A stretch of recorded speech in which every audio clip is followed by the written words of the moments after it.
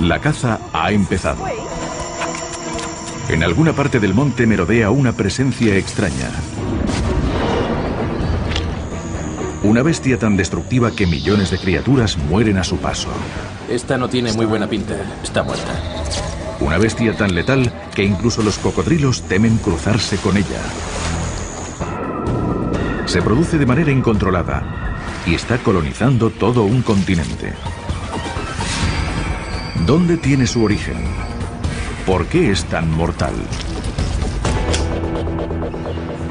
Los lugareños luchan contra ella. ¿Pero lograrán los ciudadanos de Australia impedir el ataque del sapo de caña asesino? La invasión de los sapos asesinos.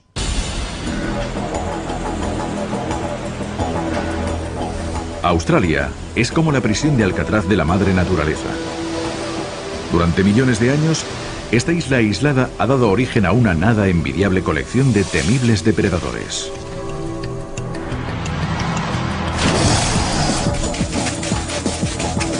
Este continente alberga una sorprendente variedad de serpientes, escorpiones, arañas, lagartos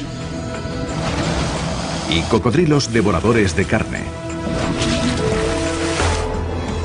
Desde que tienen memoria, los reclusos residentes han llevado la voz cantante.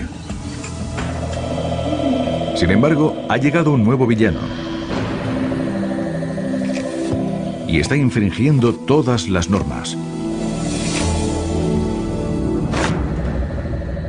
Su nombre es Bufo. Bufo marinus. El sapo de caña.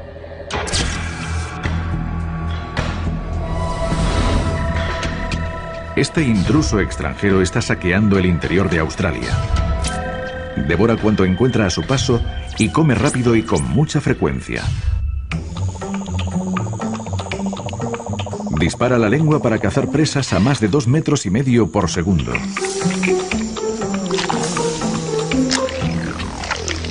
Incluso sus globos oculares están diseñados para engullir el alimento. Además, cualquier depredador que intente hincar el diente en un sapo de esta especie se llevará una desagradable sorpresa. Un mordisco puede provocar la secreción de un veneno defensivo letal. Bajo la piel verrugosa y concentrado en dos glándulas de la espalda, se extiende un cóctel tóxico de venenos con capacidad de matar a un cocodrilo. Los más duros del lugar están en apuros. No es un duelo justo. Además, Bufo no ha venido solo. Cuenta con una banda. Una banda enorme. Pueden llegar a ser millones.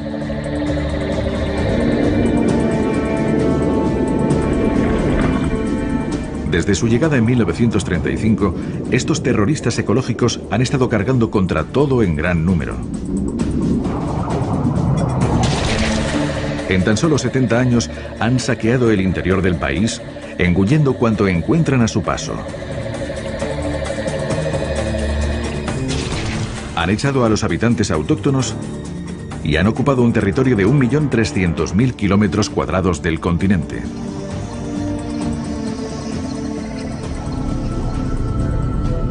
El sufrimiento no se limita solamente a la naturaleza. Cuando el sapo llama a la puerta,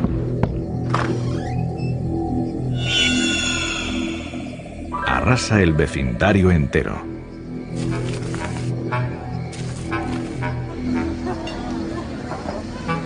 Cada ejemplar contiene veneno suficiente para matar a un niño pequeño. Es mortal si se traga, pero el veneno no puede penetrar en la piel. No obstante, la mera presencia de bufo es motivo de preocupación para casi todos los residentes.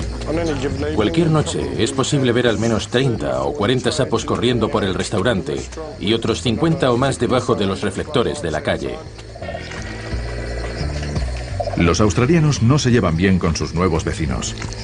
El sapo asesino es con diferencia lo peor que nos ha pasado, sin lugar a dudas. Dos minutos cazando sapos asesinos. Odio estos bichos. Son asquerosos. Unos cerdos. Los odio.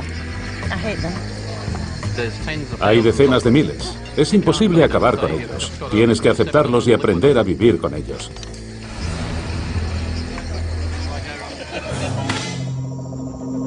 A pesar de sus victorias, Bufo no muestra señales de tomarse las cosas con más calma.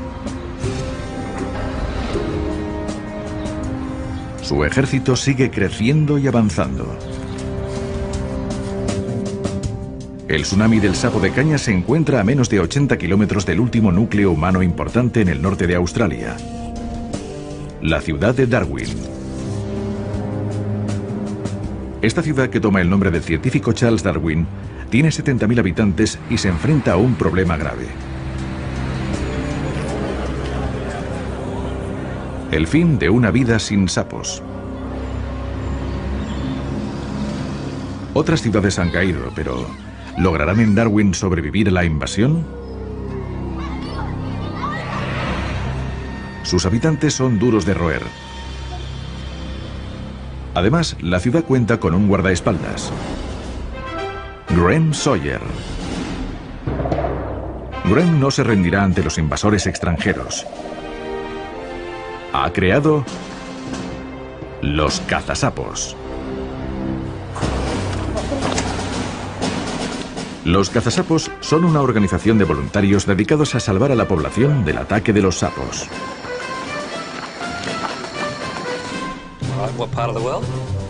Al igual que los líderes militares del pasado, Graham sabe que hay que estar preparado.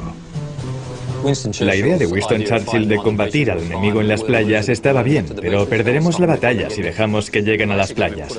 Hemos dispuesto una línea de demarcación en el mapa e impediremos que los sapos la crucen.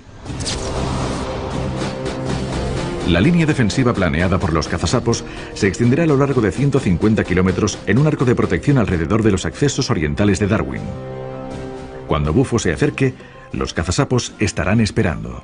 Esta es nuestra línea en la arena y nadie podrá cruzarla. Para la defensa de Darwin será necesario el despliegue de espías de sapos, la movilización de las masas y la agresividad contundente de la justicia de los vigilantes.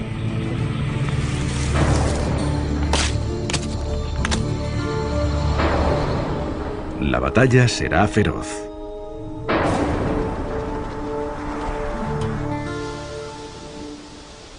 Se acerca el día D de la ciudad de Darwin. La temporada seca de Australia llega a su fin. Seis meses de clima cálido y árido quema la tierra y seca las cuencas de los ríos. Los sapos pueden perder hasta el 50% del agua corporal y sobrevivir. No corren ningún riesgo. El ejército de bufo permanece inmóvil durante la estación seca, en la sombra, y se entierran en la tierra húmeda que encuentran.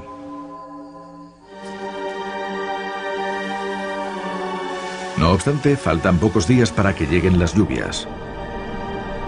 Cuando empiece a llover, Darwin sentirá con toda su virulencia la fuerza de este apocalipsis anfibio.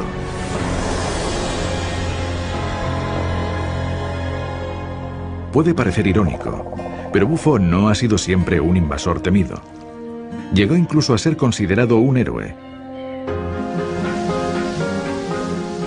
1935. El voraz escarabajo de la caña de azúcar, un insecto autóctono muy coloso, saquea la valiosa cosecha de azúcar del país. El gobierno busca desesperadamente una forma de poner fin a la pesadilla. Los científicos encuentran una respuesta. Los sapos de caña de América Central. Esta especie de sapo se alimenta de escarabajos en las tierras de procedencia. Parece una solución económica y eficaz. Los científicos deciden llevar a cabo un gran experimento. Transportar 102 sapos de caña hasta Australia. En serio, la idea de los sapos para terminar con la plaga de la caña de azúcar era muy atractiva y la gente estaba entusiasmada. Los australianos recibieron los sapos como sus salvadores. Por desgracia, los sapos tenían otros planes. ignoraron por completo a los escarabajos de la caña de azúcar y en su lugar se atiborraron de multitud de insectos que poblaban los campos. El experimento fue todo un fracaso. Los científicos decepcionados recurrieron a los pesticidas como solución a la plaga de escarabajos. Se olvidaron del fallido experimento de los sapos. Sin embargo, los extranjeros olvidados no se van a ninguna parte. Es el comienzo de una nueva pesadilla.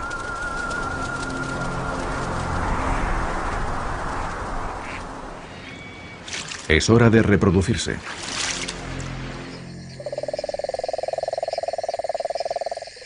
La vida sexual de un sapo de caña es un proceso interminable.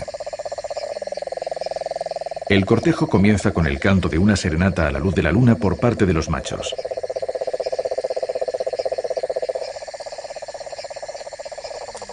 El canto armonioso atrae a las hembras, para quienes una buena voz cantante resulta irresistible.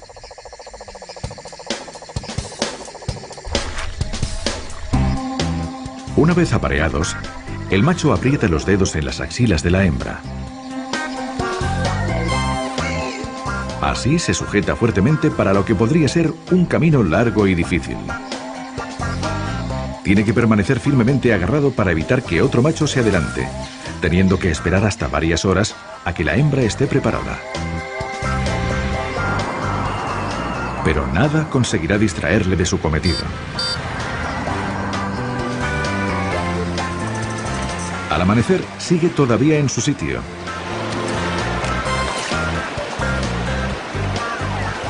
Y una vez dentro del agua, es evidente la importancia de agarrarse bien.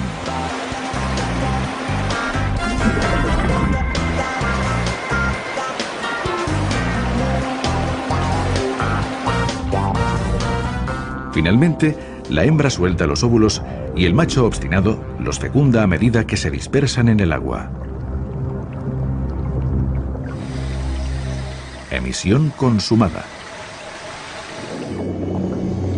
La reproducción del sapo de caña en Australia fue explosiva, mucho más rápida de lo que jamás había sido en América Central. Al cabo de unos años, los 102 ejemplares originales se habían convertido en millones. Fue una generación tras otra con un alto nivel de natalidad. Una enorme ola de sapos de la caña inundó el continente los científicos habían liberado sin darse cuenta un monstruo. Pero ahora, 70 años después, la invasión de los sapos asesinos está a punto de toparse con un enemigo decidido en un enfrentamiento que podría decidir el destino de Darwin.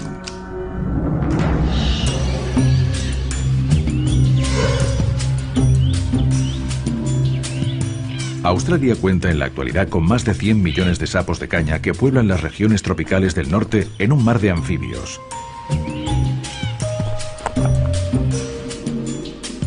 La clave de su éxito reside en su increíble capacidad de desove.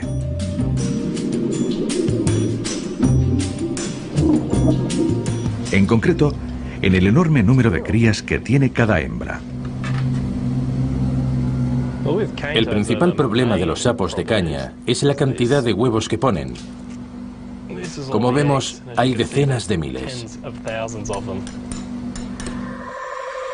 Al contrario que las ranas autóctonas que ponen entre 1 y 2 mil huevos, la hembra del sapo de caña es capaz de producir 15 veces más hasta llegar a los 30.000 huevos, cada uno de ellos con posibilidad de llegar a ser adulto. El desove se desarrolla a gran velocidad.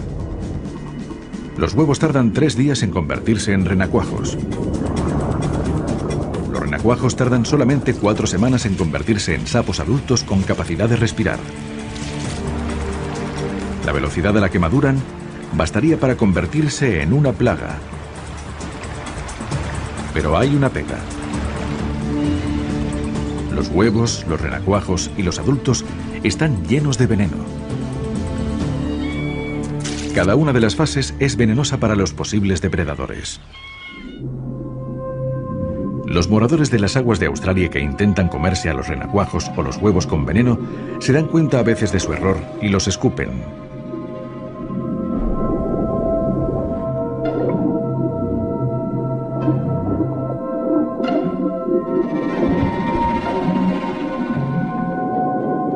Sin embargo, quienes perseveran lo pagan caro.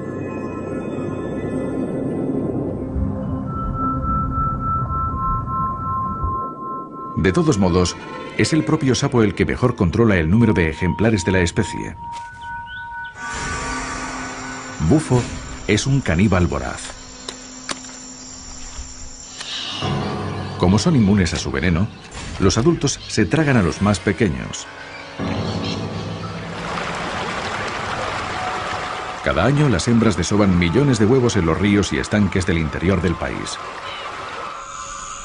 Pocos llegan a la edad adulta, pero son suficientes para que la población crezca una media del 20% cada año.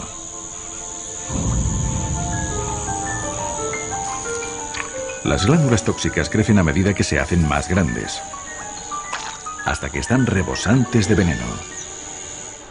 Si nos fijamos bien, se ven los puntos negros. Esos puntos negros son la salida del contenido de la glándula. Si se aprieta, el veneno sale a chorro, alcanzando hasta casi un metro de distancia.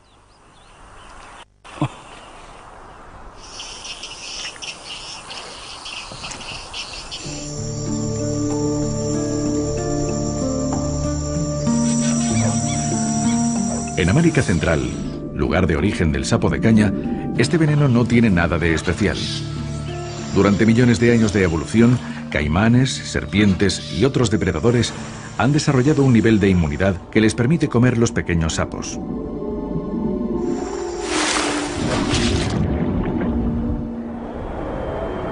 Sin embargo, en Australia es diferente. Los sapos llevan aquí apenas 70 años. Los depredadores del interior del país no han tenido tiempo para desarrollar una defensa contra este ataque químico. Están totalmente expuestos. Cada año que pasa, los sapos invaden más territorio, llevando a las especies autóctonas casi hasta la extinción. La línea de frente del territorio del sapo se encuentra ahora mismo a unos 80 kilómetros de la ciudad de Darwin.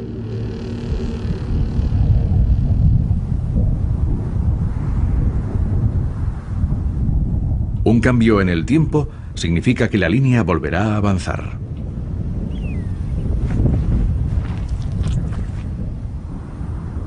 Tras varios meses de calor achicharrante, llegan por fin las tormentas.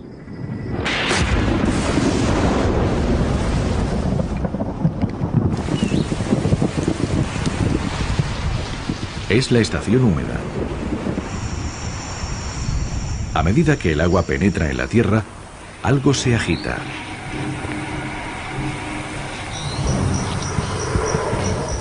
Los sapos, rejuvenecidos por la humedad, empiezan a moverse.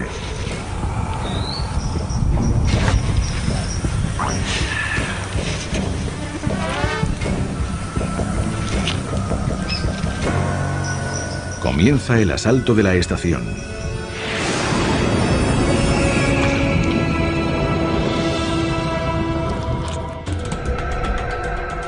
A medio camino entre el territorio de los sapos y Darwin, encontramos la Reserva Natural de Fog Dam. Fog Dam cuenta con una de las mayores concentraciones de depredadores autóctonos de Australia. Es un buen ejemplar. Thomas Madsen es uno de los muchos biólogos que se ocupan de la naturaleza. Era una presa fácil. Las goanas gigantes son uno de los reptiles autóctonos que acechan el parque. Hay gran cantidad de serpientes. E incluso el peculiar lagarto de collar rizado. Es un macho grande precioso. Sin embargo, los sapos están de camino y a los habitantes de Fogdam les queda poco tiempo. Ben Phillips, experto en serpientes, está buscando ejemplares de víboras de la muerte. Las víboras de la muerte son uno de los depredadores más peligrosos de Fogdam. Se alimenta de ranas autóctonas para desayunar, comer y cenar. Pero Ben hace un descubrimiento espeluznante. Esta no tiene muy buena pinta. De hecho, está muerta. La serpiente no tiene ninguna marca, pero lo que le preocupa a Ben es lo que ha ingerido. Tiene algo en el estómago. Le echaré un vistazo. Sí, sin duda es un sapo de caña. La serpiente tiene en la boca un pequeño sapo, lleno de toxinas mortales. Comienza la matanza que se preveía desde hace tiempo. Las víboras de la muerte y otros depredadores están cometiendo el grave error de atacar a los sapos que se encuentran.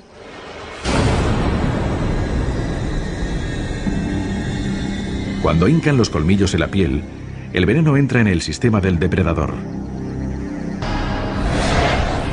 Una vez en el interior del cuerpo de la víctima, atacan los receptores químicos en el corazón, alterando el ritmo y provocando una contracción violenta. El depredador puede morir en apenas unos minutos. La serpiente no tiene posibilidades. Creo que habrá una masacre. Calculo que el 95% de las serpientes que sigo de cerca morirán víctimas de los sapos en un espacio de tiempo relativamente corto.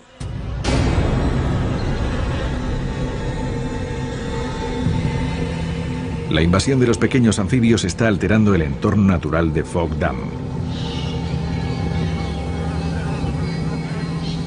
Las víctimas de la batalla yacen en el suelo.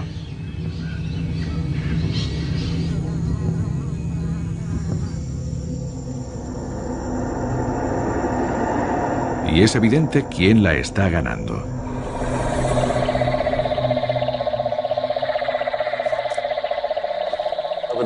Desgraciadamente, podemos oír allí a un grupo de sapos llamando en este momento.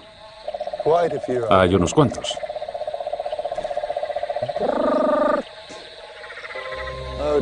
Parece que ha llegado el final.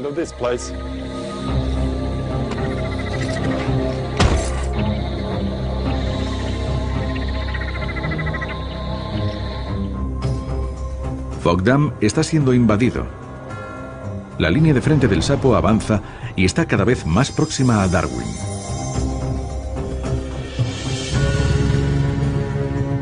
Para poder detener la invasión, los científicos tienen que pensar y planear nuevas maneras de contraatacar al enemigo.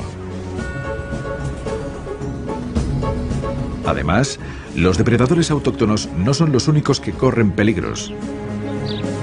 Cuanto más se acercan a los humanos, mayor es el peligro.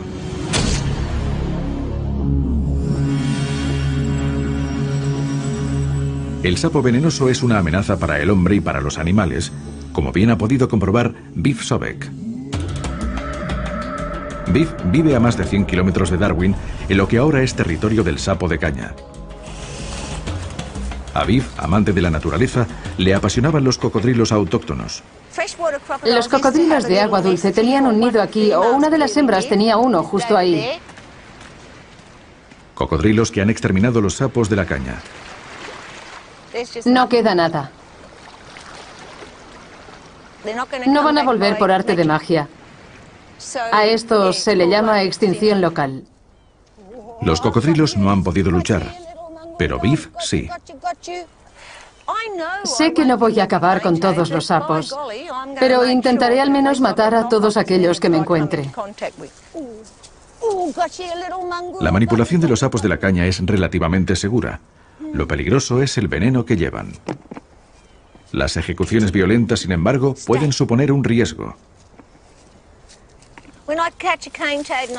Cuando atrapo a un sapo y voy a matarlo, lo agarro por encima de la rodilla para que no pueda saltar hacia atrás sobre el estómago. Lo tumbo sobre la roca y le doy un golpe con el mazo. Muerto. Humano y rápido. Sin embargo, la técnica de Biff no es infalible. Y un día un sapo clamó venganza. Cuando fui a levantar el mazo y pegarle, vi que se daba la vuelta sobre el estómago. Las glándulas venenosas de la espalda quedaron expuestas. Sabía que estaba en un aprieto. El veneno salió disparado a los ojos de Biff.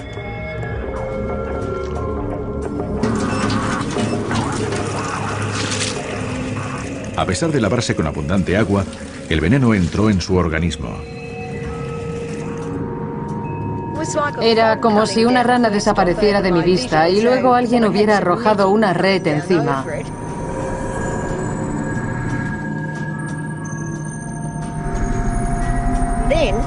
Empezaron a desaparecer los colores. Solo veía cuatro, naranja, amarillo, rojo y verde, como un caleidoscopio desenfocado.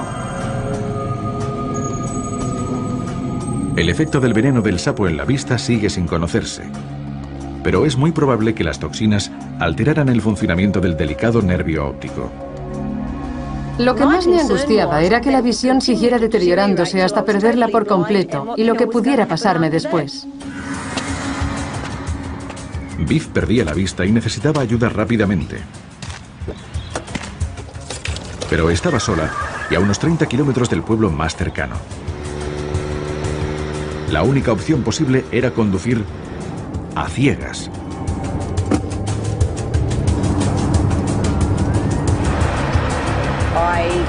No veía las señales.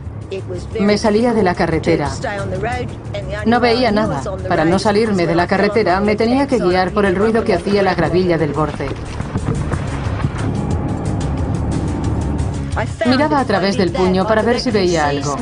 Descubrí que podía ver partes muy pequeñas, como si fuera un telescopio. Sabía que era peligroso, pero no me quedaba otra opción. Tenía que llegar al hospital.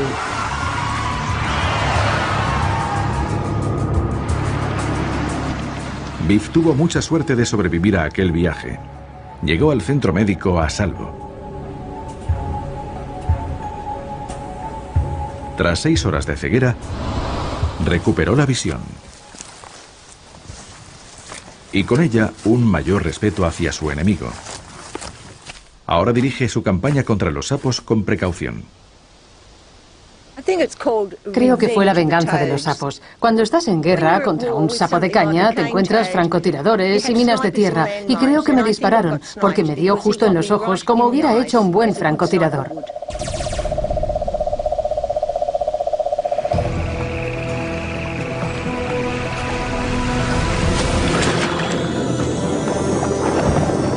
Mientras tanto, los sapos se aproximan a las afueras de Darwin.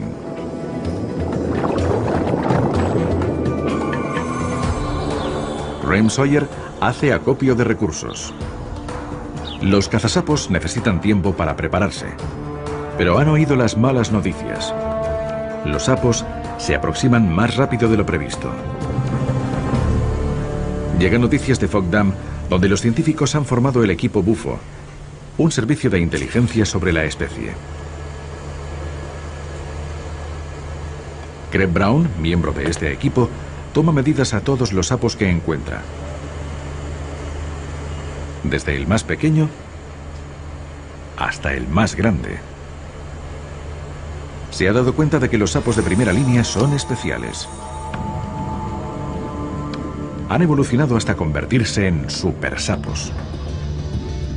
Como consecuencia de la selección natural que favorece a los sapos más rápidos y maduros, los que están en primera línea son un 20% más grandes y tienen las patas más largas.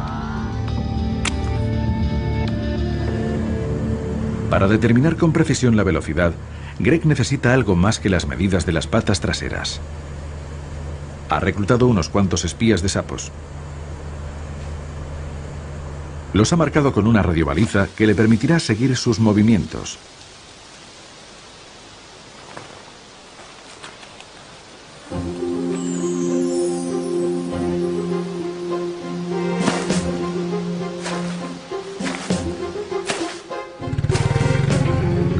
Son sorprendentes. Con ayuda de las enormes patas traseras, estos sapos en primera línea pueden recorrer un kilómetro y medio en una sola noche. El equivalente en un ser humano serían 15 kilómetros. De esto se deduce que el avance de los sapos se acelera. Los ejemplares más grandes y más fuertes avanzan en el territorio australiano cinco veces más rápido que sus antepasados. El equipo bufo está impresionado con los resultados. Tenemos sapos adultos de gran tamaño recorriendo distancias increíbles en direcciones consistentes. Se propagan a gran velocidad Y el frente de invasión parece el de un ejército. Es como si los soldados de las tropas de asalto avanzaran en el horizonte. El equipo de inteligencia indica que los cazasapos tienen poco tiempo antes de tener encima al ejército de los sapos de la caña. Los sapos ya han penetrado en los barrios de las afueras. Y se dirigen hacia los jardines de las casas.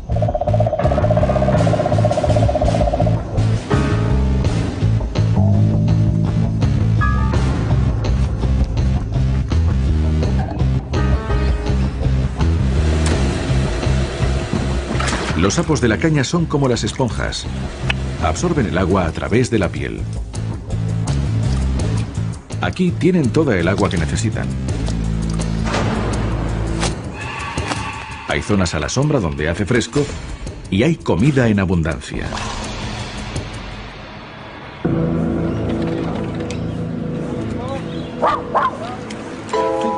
El bufo marinus disfruta del estilo de vida suburbano y no le gusta que le molesten.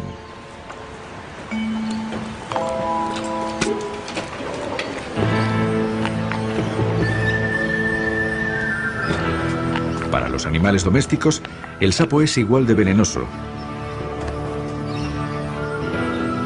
Y está demostrando que en su nuevo espacio solo hay sitio para uno de los dos.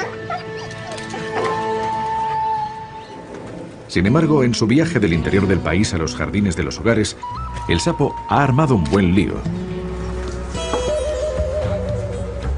Los australianos del norte son gente aguerrida.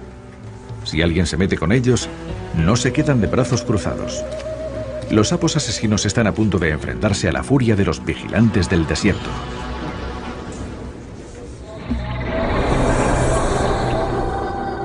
Los sapos se están apiñando en las entradas de Darwin. Estos guerreros saltarines se aproximan al último bastión libre de sapos en el norte del país. Sin embargo, a medida que avanzan y se enfrentan a los vecinos, la cosa se pone fea. Los granjeros Errol Woods y Relin Gimeli han sufrido el ataque del ejército de sapos que han arrasado el vecindario.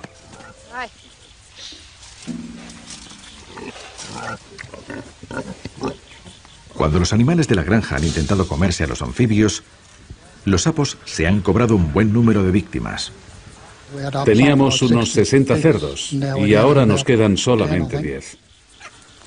Además de los cerdos, han perdido pavos, pavos reales, patos e incluso perros. Has cuidado de ellos y es una pena ver cómo se mueren. Ha llegado la hora de la venganza. Y no piensan hacer prisioneros.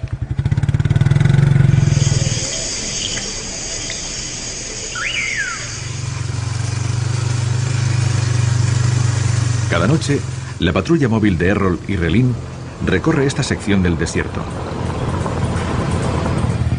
Su misión, buscar y destruir.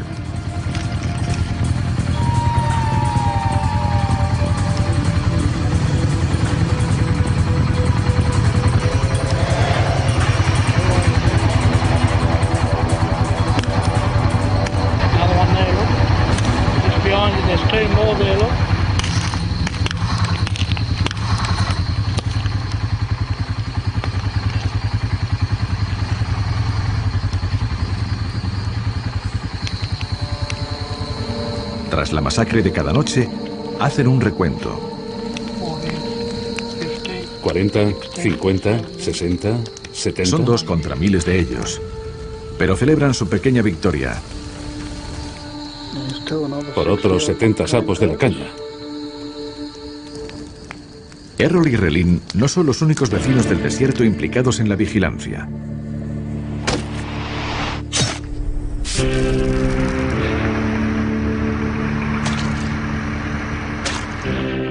Algunos no se andan con tonterías. Esta de aquí es una Winchester o una 22. Es perfecta para disparar a larga distancia, a unos 30 metros. Este es un rifle de aire comprimido, para distancias más cortas, no llega muy lejos. Este se ha comercializado específicamente para combatir los sapos de la caña. Es muy eficaz a una distancia de unos 30 metros. Sin embargo, solo es posible derribarlos de uno en uno.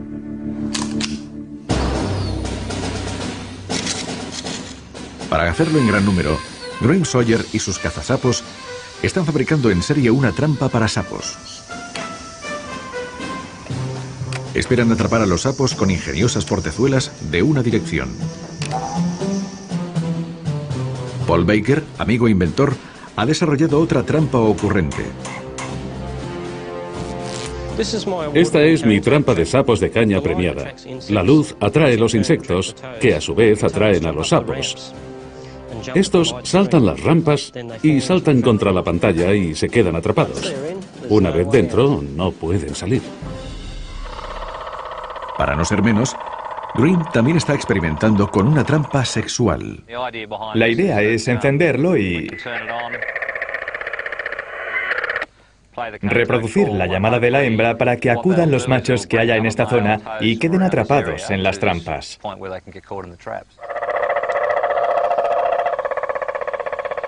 De hecho, podemos dejarla de manera permanente en el campo porque tiene una batería. Puede funcionar durante toda la noche.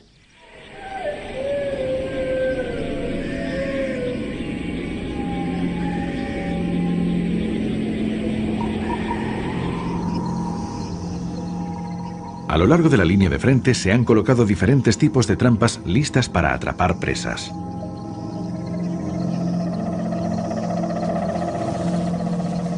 Los guerreros invasores están intrigados.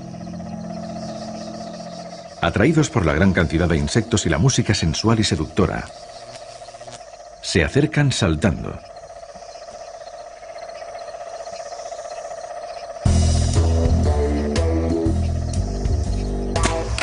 Sin embargo, el placer dura poco.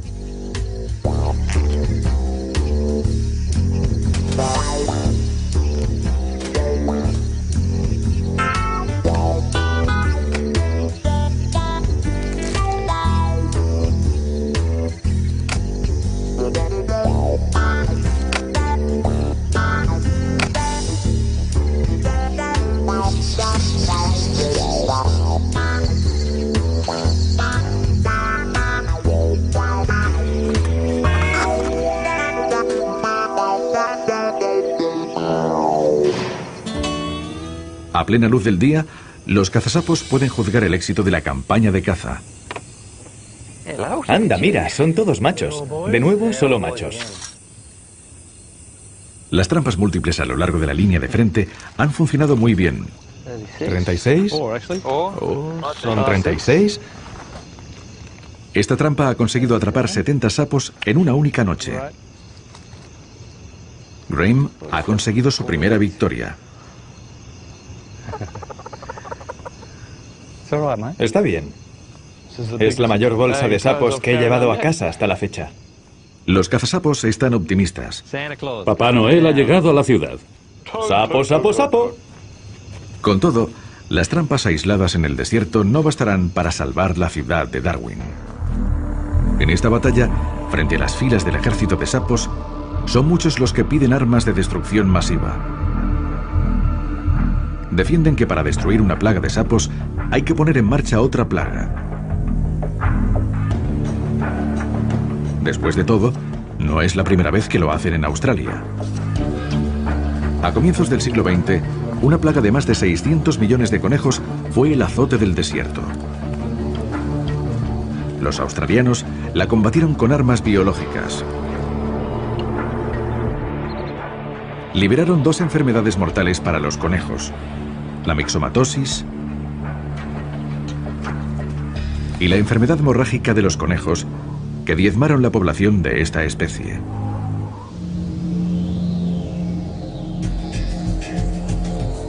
Los científicos ya están trabajando en un arma biológica para contraatacar al sapo de caña. Un virus diseñado especialmente para evitar que los sapos maduren. Debería detener su desarrollo cuando están en la fase de renacuajo. El doctor Alex Hayat es uno de los científicos del gobierno que trabaja en el proyecto. Estamos modificando un virus que se encuentra en Australia. Lo insertamos en un gen específico que solo afectará a los sapos de la caña y esperamos que lleve a una reducción significativa para que dejen de ser una plaga.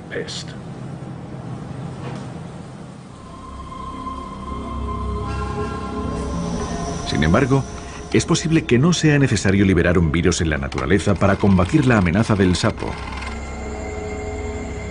Tal vez las actuales víctimas del sapo aprendan a protegerse. Las serpientes de Ben Phillips demuestran que los sapos ya no serán un problema a largo plazo.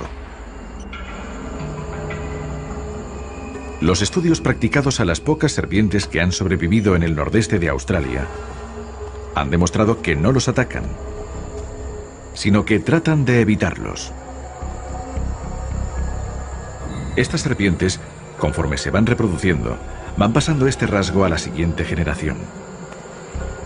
En su evolución desarrollan armas inteligentes contra los sapos. Existen muchas posibilidades de que en los próximos 100 o 200 años muchas especies de serpientes se adaptarán a los sapos y estos dejarán de ser un problema.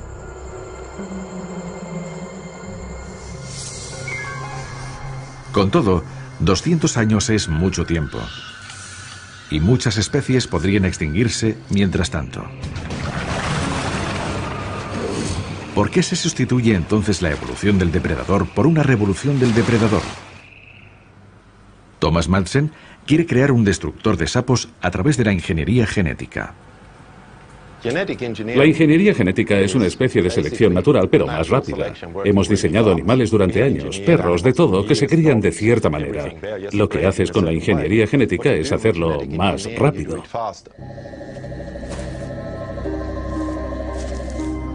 Madsen espera convertir el datanelo septentrional en la peor pesadilla del sapo de caña. El datanelo es un depredador con preferencia por los anfibios. Como consecuencia, la llegada del sapo venenoso ha llevado a las poblaciones del tatanelo al borde de la extinción. Para darle la vuelta a la situación, lo que necesita el datanelo es inmunidad al veneno del sapo. Y Madsen sabe dónde encontrarla. En el mismo sapo caníbal. Hasta los renacuajos de los sapos de caña se comen a los suyos sin ningún problema.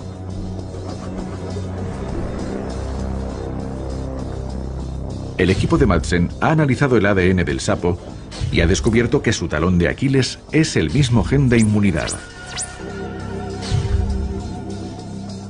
Al implantar este gen en el datanelo septentrional, creen que podrán pasar de ser una víctima a un depredador, un destructor de sapos diseñado genéticamente. El datanelo tendrá este gen, el mismo que el sapo, de modo que podrá comérselo como si fuera una hamburguesa. Será inmune a él. Sin embargo, estos datanelos especializados aún no son una realidad.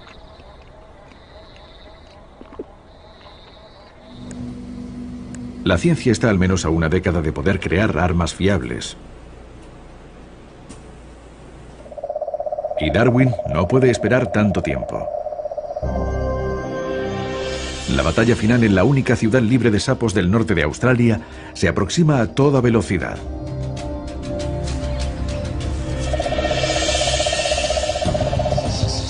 Para Graham Sawyer y los cazasapos es la última oportunidad. Tienen que detener a los sapos ahora o abandonar cualquier esperanza de victoria. Graham sabe que le superan en número, pero tiene un plan maestro que podría liquidar a esta multitud de enemigos.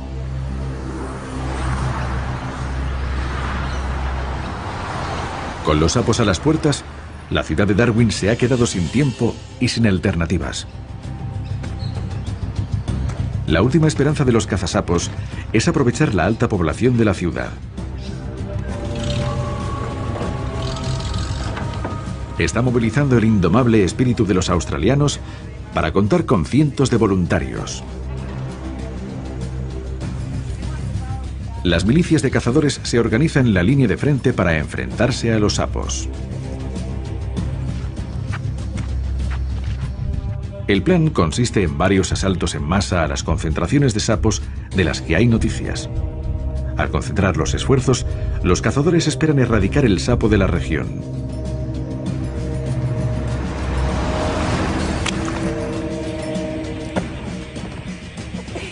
Las milicias tienen orden de cazar, pero no de matarlos. Los sapos que cacen serán congelados. Una muerte tranquila, sin dolor. En ninguna parte del norte de Australia hay disponible tanta fuerza humana. Esto podría inclinar la balanza a favor de los defensores. La multitud de sapos se siente sorprendida e intimidada.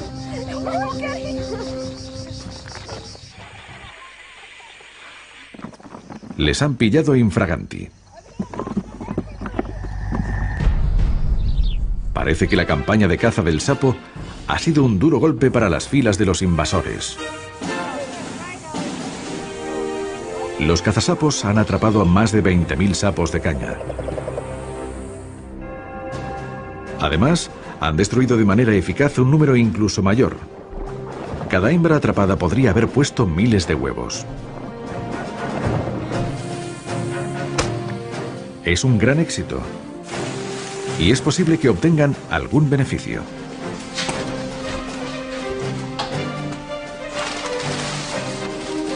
Los sapos derrotados y congelados no recibirán honores militares.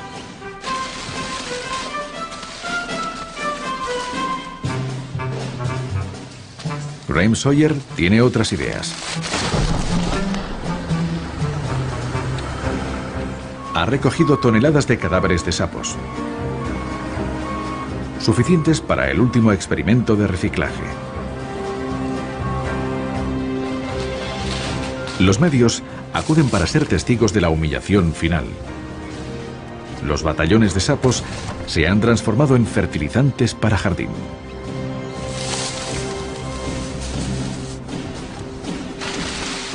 Resulta que los sapos de caña muertos son uno de los mejores fertilizantes de Australia.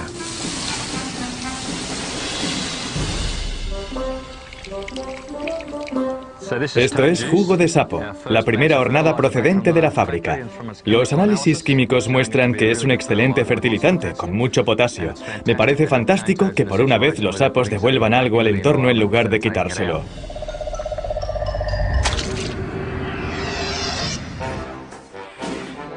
Este año, a pesar de la resistencia de estos invasores, la ciudad de Darwin sigue libre de sapos. Graham cree que los cazasapos han dado la vuelta a la situación en su lucha contra el ejército de los sapos de caña. Creo que para octubre habremos acabado con ellos en esta zona y los de las zonas húmedas lo haremos al llegar la estación seca. Creen que si continúan con su estrategia, año tras año, la victoria está asegurada. Sin duda, en una zona como Darwin, con el entorno y la gente que tenemos, podemos ganar esta guerra sin problema. Pero Graham podría estar adelantándose a los acontecimientos. Con el bufo marinos nunca se sabe. Este invasor extranjero no se detendrá hasta que conquiste cada rincón habitable de Australia. Bastará con el mínimo descuido del enemigo.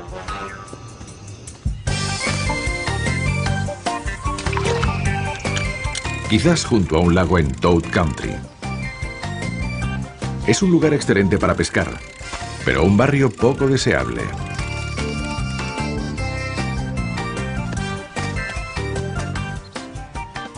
Este pescador despistado es una presa fácil para las fuerzas especiales de Bufo.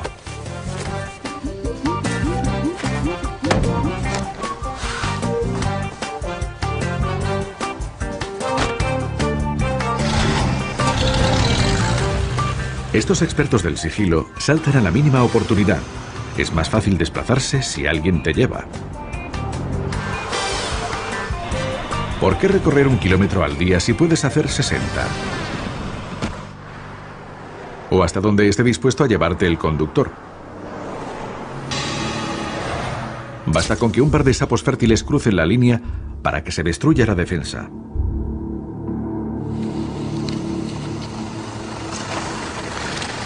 Estos sapos viajeros desbaratarán los planes de los defensores. Los sapos escondidos detrás de las líneas son bombas de relojería. Cuando empiezan a reproducirse, los números se disparan. En un momento de pasión, esta pareja podría producir 30.000 huevos, suficientes para crear una nueva colonia.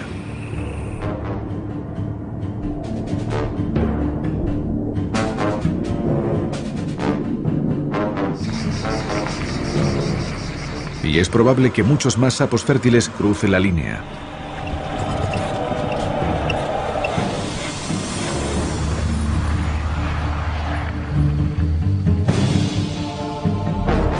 Tal vez Darwin esté ahora libre de sapos, pero si se abren paso en otras partes, podrían derrotar incluso al ejército de los defensores. Al final, los cazadores serán cazados. La imparable marcha del sapo continuará por el resto de las zonas habitables de Australia.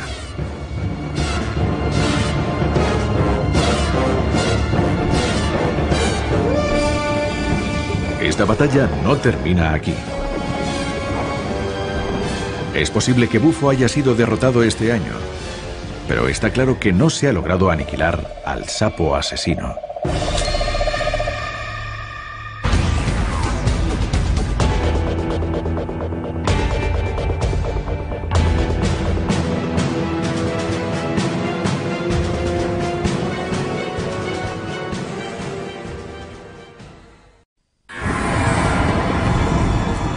Caza ha empezado. En alguna parte del monte merodea una presencia extraña. Una bestia tan destructiva que millones de criaturas mueren a su paso. Esta no tiene muy buena pinta. Está muerta. Una bestia tan letal que incluso los cocodrilos temen cruzarse con ella. Se produce de manera incontrolada y está colonizando todo un continente. ¿Dónde tiene su origen? ¿Por qué es tan mortal? Los lugareños luchan contra ella. ¿Pero lograrán los ciudadanos de Australia impedir el ataque del sapo de caña asesino?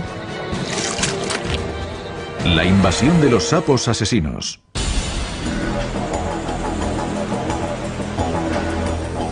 Australia es como la prisión de Alcatraz de la madre naturaleza.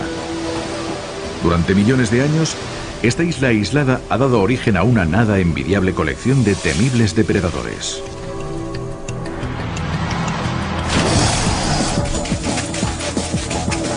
Este continente alberga una sorprendente variedad de serpientes, escorpiones, arañas, lagartos y cocodrilos devoradores de carne. Desde que tienen memoria, los reclusos residentes han llevado la voz cantante. Sin embargo, ha llegado un nuevo villano. Y está infringiendo todas las normas. Su nombre es Bufo. Bufo marinus. El sapo de caña.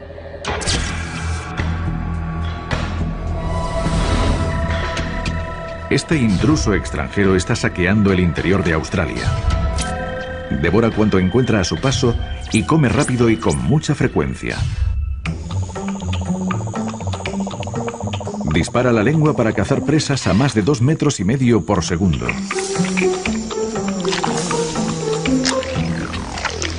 Incluso sus globos oculares están diseñados para engullir el alimento.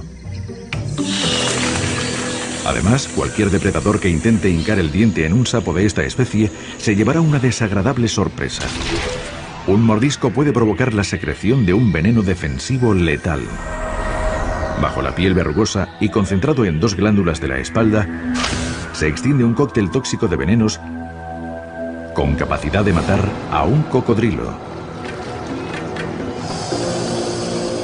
Los más duros del lugar están en apuros. No es un duelo justo. Además, Bufo no ha venido solo. Cuenta con una banda. Una banda enorme. Pueden llegar a ser millones.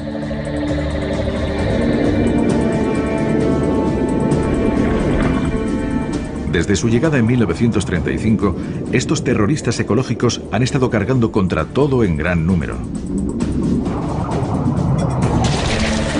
En tan solo 70 años han saqueado el interior del país, engullendo cuanto encuentran a su paso.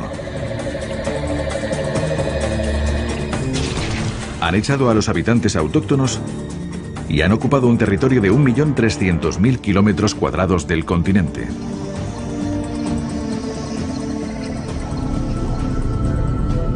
El sufrimiento no se limita solamente a la naturaleza. Cuando el sapo llama a la puerta,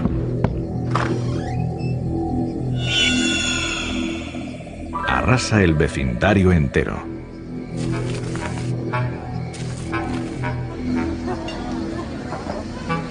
Cada ejemplar contiene veneno suficiente para matar a un niño pequeño. Es mortal si se traga, pero el veneno no puede penetrar en la piel. No obstante, la mera presencia de bufo es motivo de preocupación para casi todos los residentes. Cualquier noche es posible ver al menos 30 o 40 sapos corriendo por el restaurante y otros 50 o más debajo de los reflectores de la calle. Los australianos no se llevan bien con sus nuevos vecinos. El sapo asesino es con diferencia lo peor que nos ha pasado, sin lugar a dudas. Dos minutos cazando sapos asesinos. Odio estos bichos. Son asquerosos. Unos cerdos. Los odio. Hay decenas de miles. Es imposible acabar con ellos. Tienes que aceptarlos y aprender a vivir con ellos.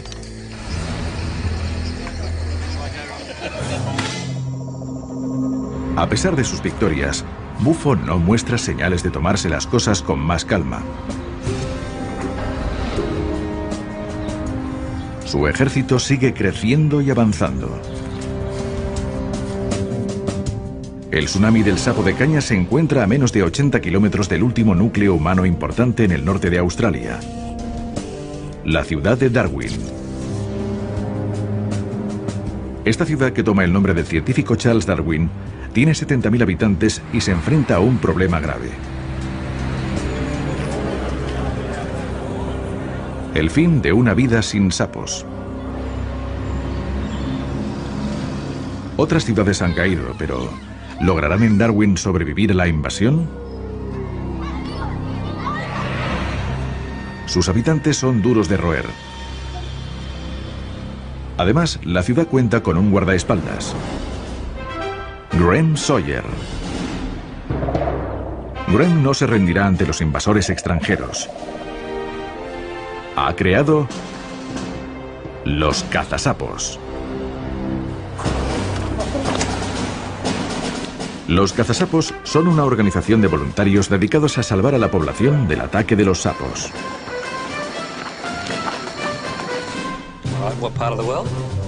Al igual que los líderes militares del pasado, Graham sabe que hay que estar preparado.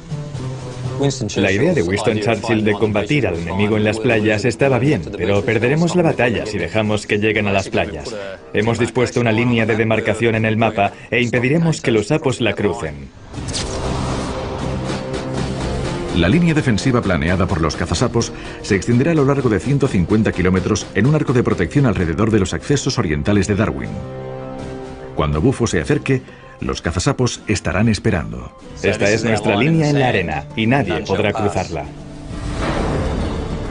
Para la defensa de Darwin será necesario el despliegue de espías de sapos,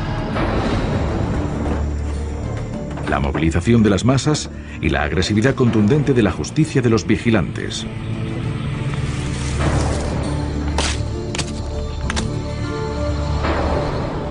La batalla será feroz.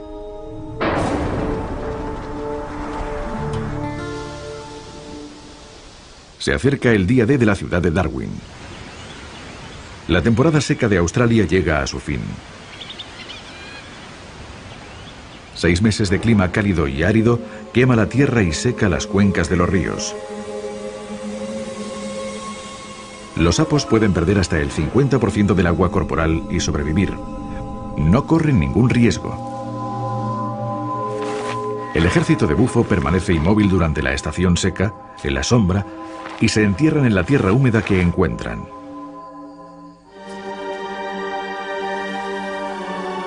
No obstante, faltan pocos días para que lleguen las lluvias. Cuando empiece a llover, Darwin sentirá con toda su virulencia la fuerza de este apocalipsis anfibio.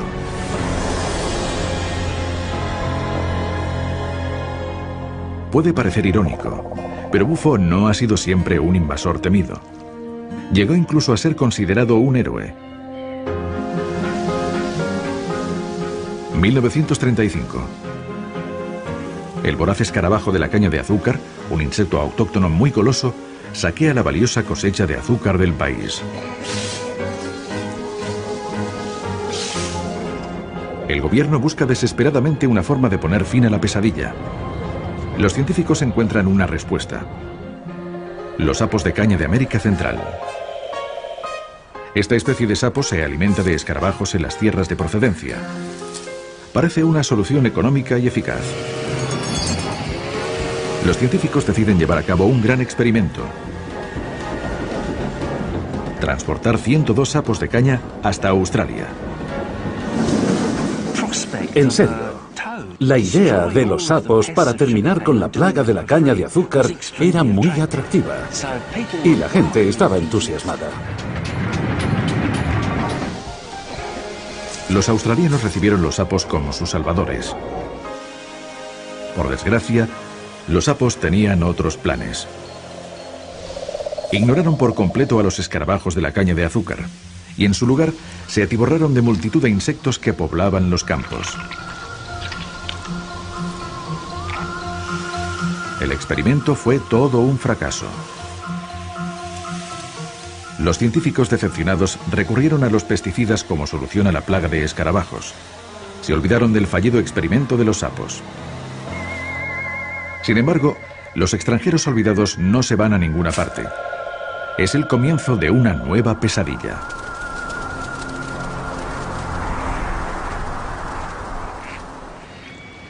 Es hora de reproducirse.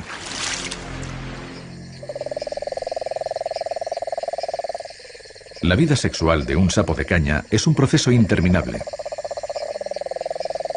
El cortejo comienza con el canto de una serenata a la luz de la luna por parte de los machos.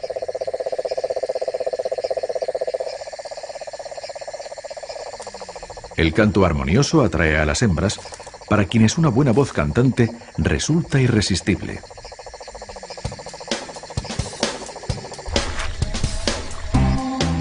Una vez apareados, el macho aprieta los dedos en las axilas de la hembra. Así se sujeta fuertemente para lo que podría ser un camino largo y difícil. Tiene que permanecer firmemente agarrado para evitar que otro macho se adelante, teniendo que esperar hasta varias horas a que la hembra esté preparada. Pero nada conseguirá distraerle de su cometido. Al amanecer, sigue todavía en su sitio,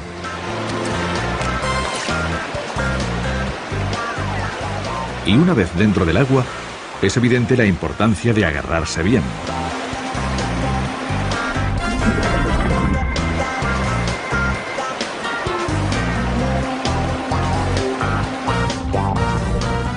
Finalmente, la hembra suelta los óvulos y el macho obstinado los fecunda a medida que se dispersan en el agua. Emisión consumada. La reproducción del sapo de caña en Australia fue explosiva, mucho más rápida de lo que jamás había sido en América Central. Al cabo de unos años, los 102 ejemplares originales se habían convertido en millones. Fue una generación tras otra con un alto nivel de natalidad. Una enorme ola de sapos de la caña inundó el continente. Los científicos habían liberado sin darse cuenta un monstruo. Pero ahora, 70 años después, la invasión de los sapos asesinos está a punto de toparse con un enemigo decidido en un enfrentamiento que podría decidir el destino de Darwin.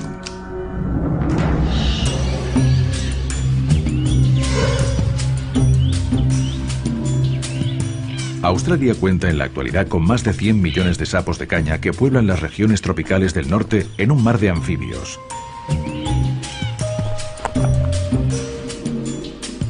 La clave de su éxito reside en su increíble capacidad de desove.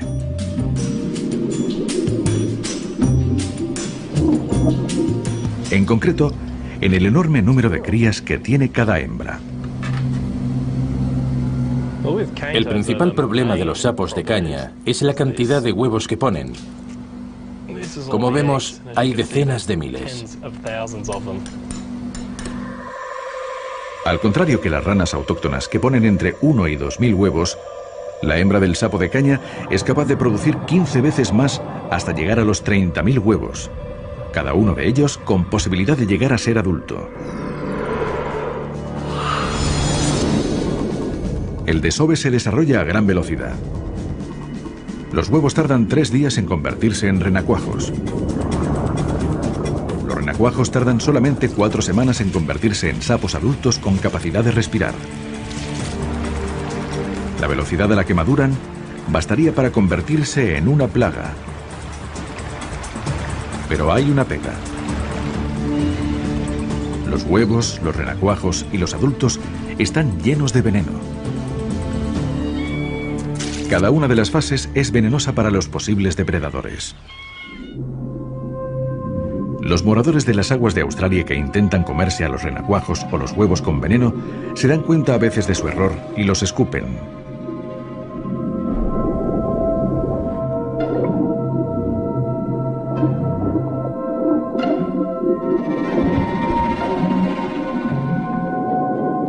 Sin embargo, quienes perseveran lo pagan caro.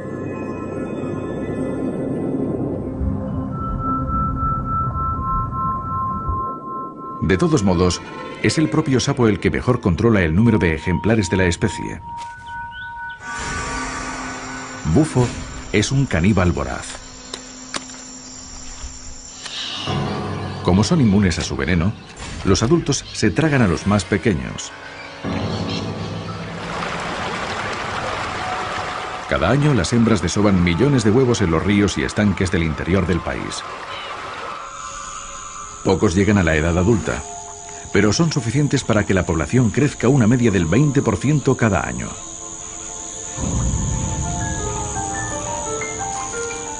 Las glándulas tóxicas crecen a medida que se hacen más grandes, hasta que están rebosantes de veneno.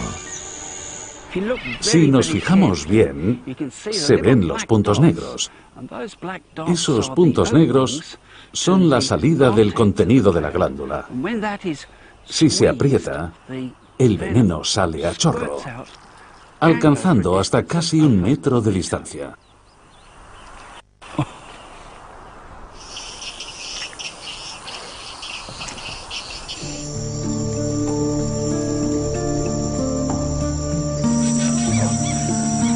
En América Central, lugar de origen del sapo de caña, este veneno no tiene nada de especial.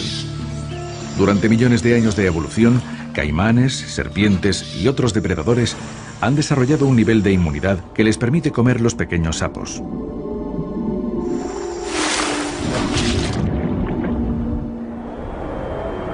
Sin embargo, en Australia es diferente. Los sapos llevan aquí apenas 70 años. Los depredadores del interior del país no han tenido tiempo para desarrollar una defensa contra este ataque químico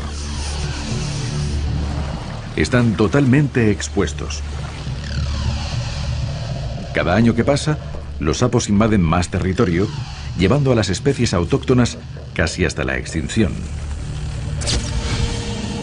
La línea de frente del territorio del sapo se encuentra ahora mismo a unos 80 kilómetros de la ciudad de Darwin.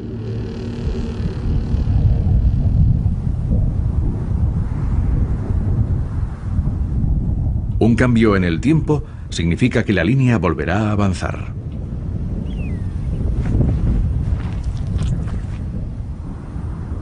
Tras varios meses de calor achicharrante, llegan por fin las tormentas.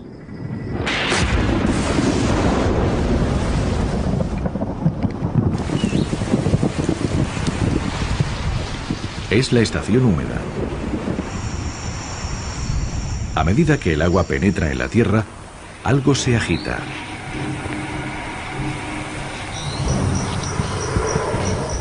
Los sapos, rejuvenecidos por la humedad, empiezan a moverse.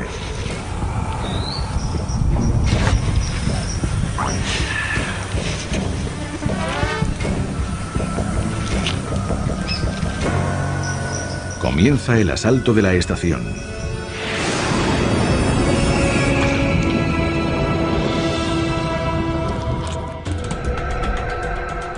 A medio camino entre el territorio de los sapos y Darwin, encontramos la reserva natural de Fog Dam. Fog Dam cuenta con una de las mayores concentraciones de depredadores autóctonos de Australia. Es un buen ejemplar. Thomas Madsen es uno de los muchos biólogos que se ocupan de la naturaleza. Era una presa fácil. Las goanas gigantes son uno de los reptiles autóctonos que acechan el parque. Hay gran cantidad de serpientes. E incluso el peculiar lagarto de collar rizado. Es un macho grande precioso. Sin embargo, los sapos están de camino y a los habitantes de Fog Dam les queda poco tiempo. Ben Phillips, experto en serpientes, está buscando ejemplares de víboras de la muerte. Las víboras de la muerte son uno de los depredadores más peligrosos de Fog Dam. Se alimenta de ranas autóctonas para desayunar, comer y cenar. Pero Ben hace un descubrimiento espeluznante. Esta no tiene muy buena pinta. De hecho, está muerta. La serpiente no tiene ninguna marca, pero lo que le preocupa a Ben es lo que ha ingerido. Tiene algo en el estómago. Le echaré un vistazo. Sí, sin duda es un sapo de caña. La serpiente tiene en la boca un pequeño sapo, lleno de toxinas mortales. Comienza la matanza que se preveía desde hace tiempo. Las víboras de la muerte y otros depredadores están cometiendo el grave error de atacar a los sapos que se encuentran.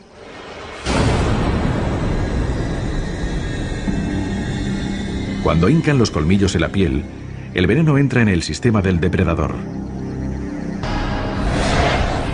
Una vez en el interior del cuerpo de la víctima, atacan los receptores químicos en el corazón, alterando el ritmo y provocando una contracción violenta. El depredador puede morir en apenas unos minutos. La serpiente no tiene posibilidades. Creo que habrá una masacre.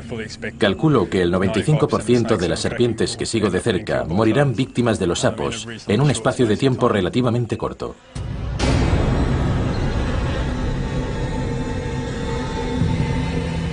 La invasión de los pequeños anfibios está alterando el entorno natural de Fog Dam. Las víctimas de la batalla yacen en el suelo.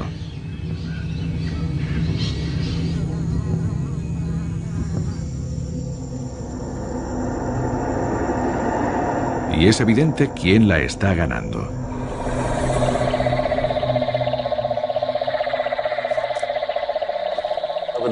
Desgraciadamente, podemos oír allí a un grupo de sapos llamando en este momento. Hay unos cuantos.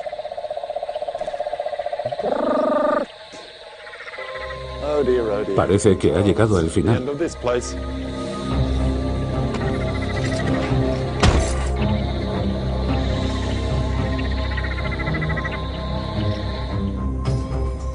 Fogdam está siendo invadido. La línea de frente del sapo avanza y está cada vez más próxima a Darwin.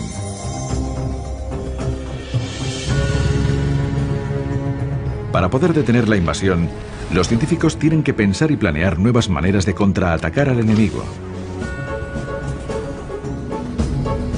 Además, los depredadores autóctonos no son los únicos que corren peligros. Cuanto más se acercan a los humanos, mayor es el peligro.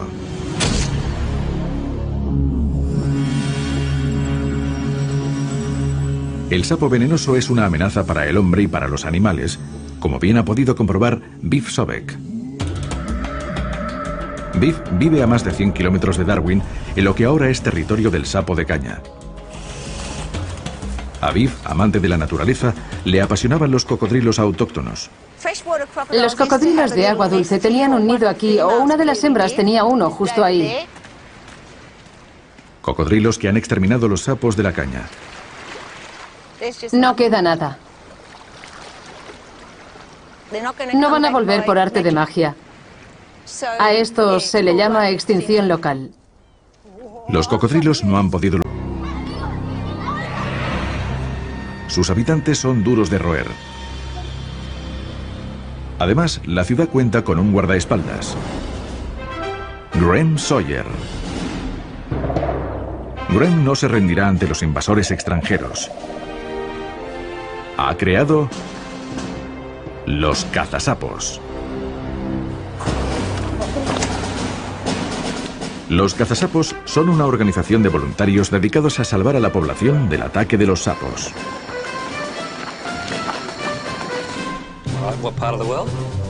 Al igual que los líderes militares del pasado, Graham sabe que hay que estar preparado. La idea de Winston Churchill de combatir al enemigo en las playas estaba bien, pero perderemos la batalla si dejamos que lleguen a las playas. Hemos dispuesto una línea de demarcación en el mapa e impediremos que los sapos la crucen. La línea defensiva planeada por los cazasapos se extenderá a lo largo de 150 kilómetros en un arco de protección alrededor de los accesos orientales de Darwin. Cuando Bufo se acerque, los cazasapos estarán esperando. Esta es nuestra línea en la arena y nadie podrá cruzarla. Para la defensa de Darwin será necesario el despliegue de espías de sapos la movilización de las masas y la agresividad contundente de la justicia de los vigilantes.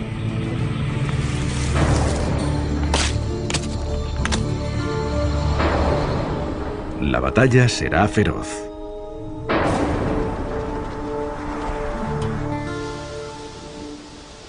Se acerca el día D de la ciudad de Darwin.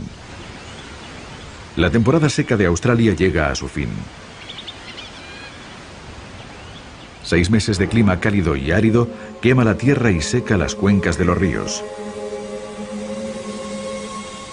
Los sapos pueden perder hasta el 50% del agua corporal y sobrevivir. No corren ningún riesgo. El ejército de bufo permanece inmóvil durante la estación seca, en la sombra, y se entierran en la tierra húmeda que encuentran.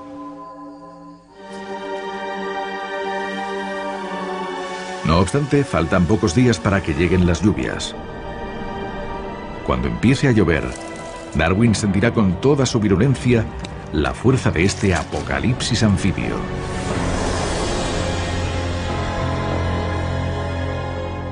Puede parecer irónico, pero Bufo no ha sido siempre un invasor temido. Llegó incluso a ser considerado un héroe.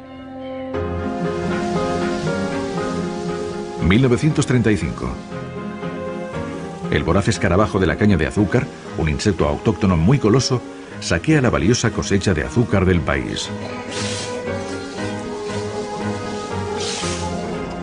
El gobierno busca desesperadamente una forma de poner fin a la pesadilla. Los científicos encuentran una respuesta. Los sapos de caña de América Central. Esta especie de sapo se alimenta de escarabajos en las tierras de procedencia. Parece una solución económica y eficaz los científicos deciden llevar a cabo un gran experimento. Transportar 102 sapos de caña hasta Australia. En serio, la idea de los sapos para terminar con la plaga de la caña de azúcar era muy atractiva y la gente estaba entusiasmada. Los australianos recibieron los sapos como sus salvadores. Por desgracia, los sapos tenían otros planes. Ignoraron por completo a los escarabajos de la caña de azúcar y en su lugar se atiborraron de multitud de insectos que poblaban los campos. El experimento fue todo un fracaso. Los científicos decepcionados recurrieron a los pesticidas como solución a la plaga de escarabajos. Se olvidaron del fallido experimento de los sapos. Sin embargo, los extranjeros olvidados no se van a ninguna parte. Es el comienzo de una nueva pesadilla.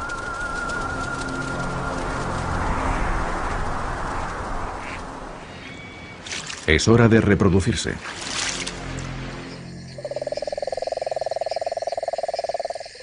La vida sexual de un sapo de caña es un proceso interminable. El cortejo comienza con el canto de una serenata a la luz de la luna por parte de los machos.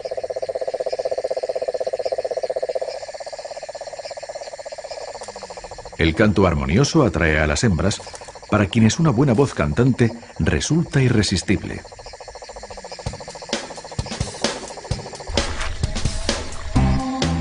Una vez apareados, el macho aprieta los dedos en las axilas de la hembra. Así se sujeta fuertemente para lo que podría ser un camino largo y difícil. Tiene que permanecer firmemente agarrado para evitar que otro macho se adelante, teniendo que esperar hasta varias horas a que la hembra esté preparada. Pero nada conseguirá distraerle de su cometido. Al amanecer, sigue todavía en su sitio.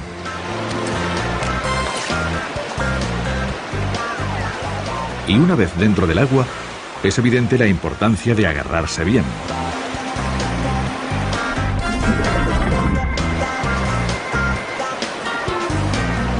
No es un duelo justo. Además, Bufo no ha venido solo. Cuenta con una banda. Una banda enorme. Pueden llegar a ser millones.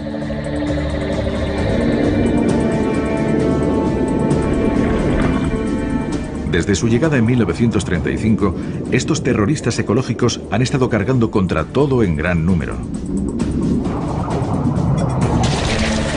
En tan solo 70 años han saqueado el interior del país, engullendo cuanto encuentran a su paso.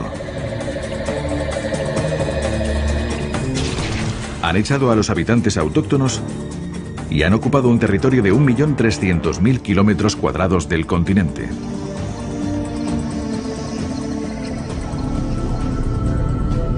El sufrimiento no se limita solamente a la naturaleza. Cuando el sapo llama a la puerta,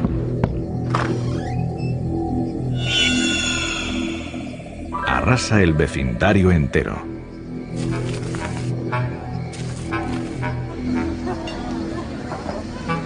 Cada ejemplar contiene veneno suficiente para matar a un niño pequeño. Es mortal si se traga, pero el veneno no puede penetrar en la piel. No obstante, la mera presencia de bufo es motivo de preocupación para casi todos los residentes. Cualquier noche es posible ver al menos 30 o 40 sapos corriendo por el restaurante y otros 50 o más debajo de los reflectores de la calle. Los australianos no se llevan bien con sus nuevos vecinos. El sapo asesino es con diferencia lo peor que nos ha pasado, sin lugar a dudas. Dos minutos cazando sapos asesinos. Odio estos bichos. Son asquerosos. Unos cerdos. Los odio. Hay decenas de miles. Es imposible acabar con ellos. Tienes que aceptarlos y aprender a vivir con ellos.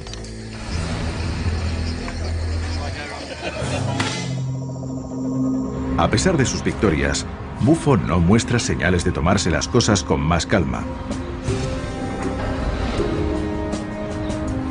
Su ejército sigue creciendo y avanzando. El tsunami del sapo de caña se encuentra a menos de 80 kilómetros del último núcleo humano importante en el norte de Australia, la ciudad de Darwin. Esta ciudad, que toma el nombre del científico Charles Darwin, tiene 70.000 habitantes y se enfrenta a un problema grave. El fin de una vida sin sapos. Otras ciudades han caído, pero ¿lograrán en Darwin sobrevivir a la invasión? La caza ha empezado. En alguna parte del monte merodea una presencia extraña. Una bestia tan destructiva que millones de criaturas mueren a su paso. Esta no tiene muy buena pinta. Está muerta. Una bestia tan letal que incluso los cocodrilos temen cruzarse con ella. Se produce de manera incontrolada y está colonizando todo un continente. ¿Dónde tiene su origen? ¿Por qué es tan mortal? Los lugareños luchan contra ella. Pero ¿lograrán los ciudadanos de Australia impedir el ataque del sapo de caña asesino? La invasión de los sapos asesinos.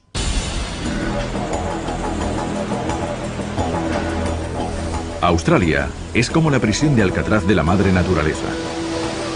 Durante millones de años, esta isla aislada ha dado origen a una nada envidiable colección de temibles depredadores.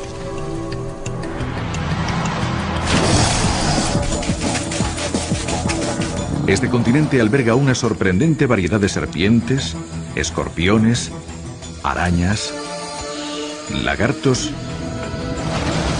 y cocodrilos devoradores de carne. Desde que tienen memoria, los reclusos residentes han llevado la voz cantante. Sin embargo, ha llegado un nuevo villano, y está infringiendo todas las normas. Su nombre es Bufo. Bufo marinus. El sapo de caña.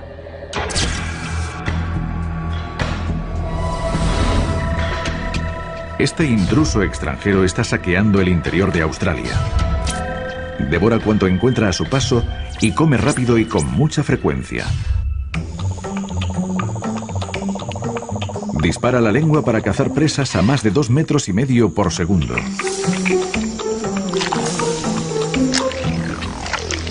Incluso sus globos oculares están diseñados para engullir el alimento.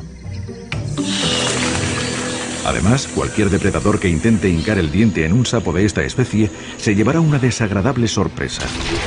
Un mordisco puede provocar la secreción de un veneno defensivo letal. Bajo la piel verrugosa y concentrado en dos glándulas de la espalda, se extiende un cóctel tóxico de venenos con capacidad de matar a un cocodrilo. Los más duros del lugar están en apuros.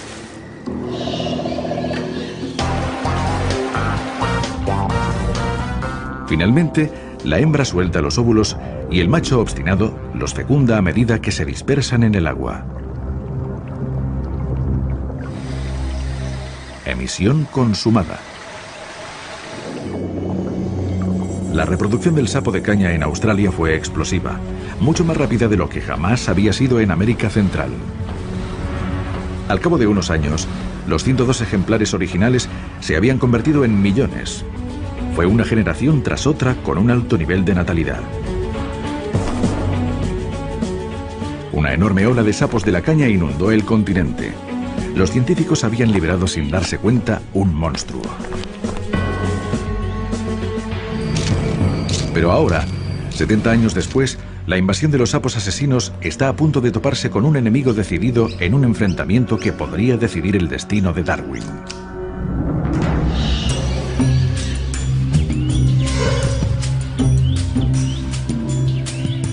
Australia cuenta en la actualidad con más de 100 millones de sapos de caña que pueblan las regiones tropicales del norte en un mar de anfibios.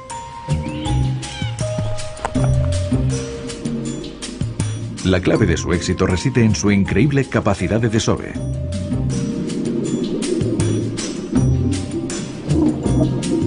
En concreto, en el enorme número de crías que tiene cada hembra. El principal problema de los sapos de caña es la cantidad de huevos que ponen. Como vemos, hay decenas de miles. Al contrario que las ranas autóctonas que ponen entre 1 y 2 mil huevos, la hembra del sapo de caña es capaz de producir 15 veces más hasta llegar a los 30.000 huevos, cada uno de ellos con posibilidad de llegar a ser adulto. El desove se desarrolla a gran velocidad. Los huevos tardan tres días en convertirse en renacuajos.